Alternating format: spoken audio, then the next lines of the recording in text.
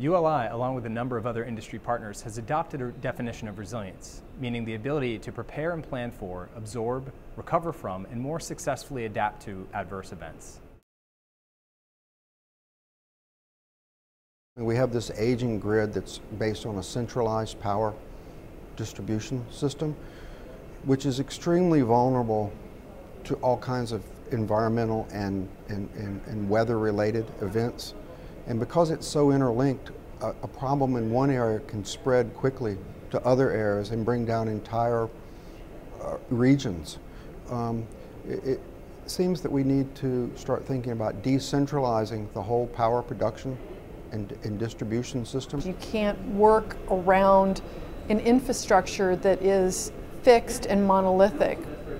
So a terrific opportunity that we have in the next generation of generation is to diversify, both in terms of the source of energy and in terms of the distribution of the generators of energy.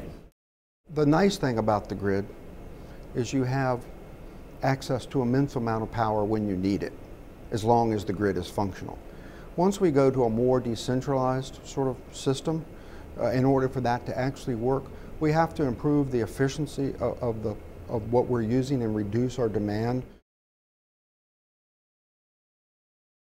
I work a lot with healthcare facilities. They're looking more at, at passive measures like operable windows, daylighting, uh, the ability for these buildings to continue to operate when grid power is disturbed, and they're looking for capability for backup power in the spaces that they own and rent. When you've taken the time to insulate the building and to seal the building, it will ensure that the occupants remain cooler for a longer period of time or remain warmer in the event that you're in a, in a, in a cold area. One very interesting example of an application that came to us through the Resiliency Initiative is a fire station that is looking to add solar PV panels to its building, incorporating ba battery storage, as well as connecting their existing diesel generation into the system. That will allow them to use that clean energy to save money throughout the year, as well as operate through an emergency and serve the community with the critical services that they provide. But what we've seen is, is that it isn't just about what happens within the drip line of the building in order to be resilient, the buildings really need to be connected into district scale solutions.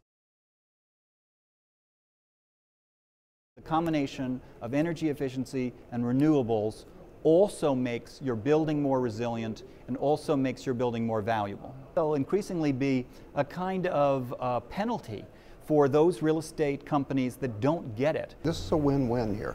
Increasing resilience is both good for the residents and the tenants of the building, and it's good for the development, developer and the community. Climate change is a key issue in all of our communities today, and that is a strong reason why we should combine investment in energy efficiency, renewable energy, and clean energy resiliency uh, for our future.